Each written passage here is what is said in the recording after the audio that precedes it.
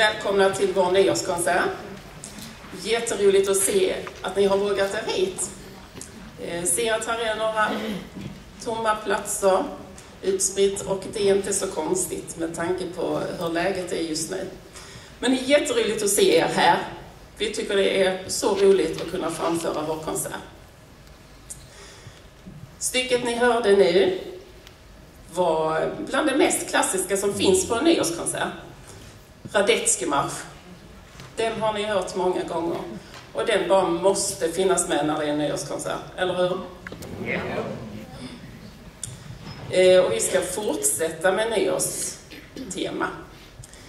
Eh, som ni redan har märkt så har ni inte fått något programblad idag.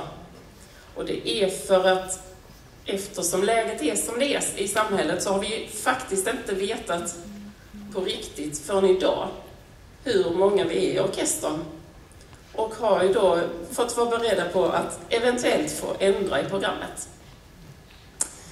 Eh, så vi får eh, presentera låtarna noggrant efterhand istället. Nästa låt som vi spelar, det är som sagt också klassiskt eh, nyårsmusik. En wienervals. The Grenadiers. Och förresten, jag glömde säga välkommen till Anders Rosengren.